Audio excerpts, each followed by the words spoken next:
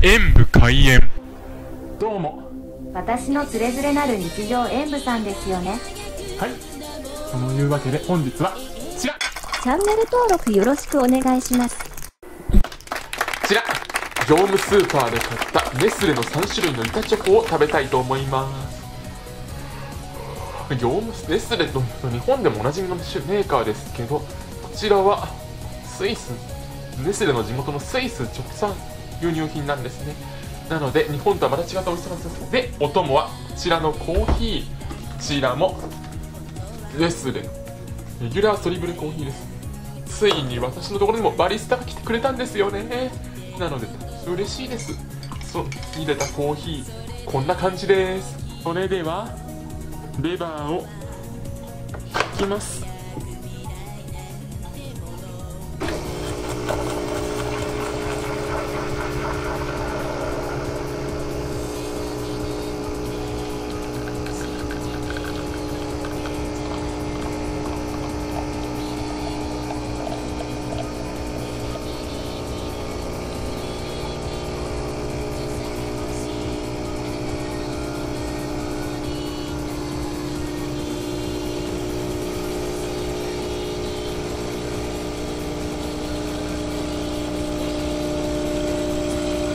いい音ですねこれ。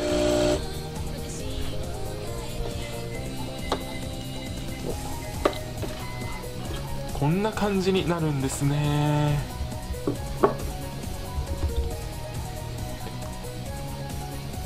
はいではコーヒーも入れ終わったところでまずは一服。そして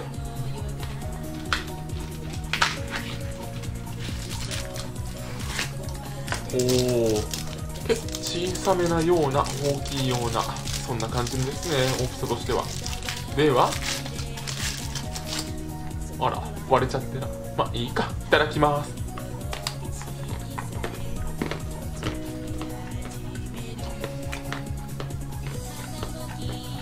バリスタのコーヒー今までのコーヒーと違うな。そしてこのチョコレートもナッツドライフルーツの食感がいい。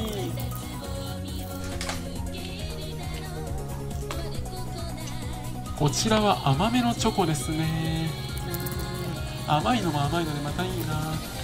こういう風に違いがあるというのもいいですね。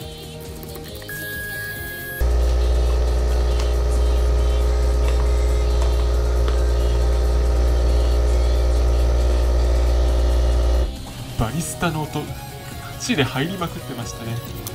次からちょっと考えないとな。どうも申し訳ありませんでした。チョコは美味しいですよ。こちらも。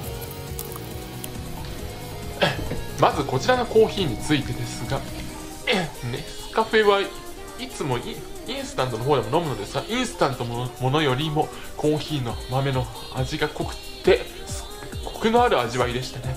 より大人向けのコーヒーと言いますね。バリスタいいですね。本当来てくれて嬉しいです。というわけでこちらこちらの点数とさせていただきます。そしてこちらのチョコレートはこちら2種類のミルクはほんのり甘めダークはほろ苦めでいずれも中に入っているナッツとそれぞれのレーズンやベリーの酸味が口の中でじゅわっと広がってきてザクザクとした食感もあって美味しかったです。チョコレート自体は日本のものとそんなに変わらないですね。チョコレートに大きな変化があるわけじゃないんですけどかなりそれを噛んだ瞬間にナッツとベリーの食感を楽しむそういうチョコレートですね。なのでそこまで美味しいというわけではないですけどうーんというわけでもありません。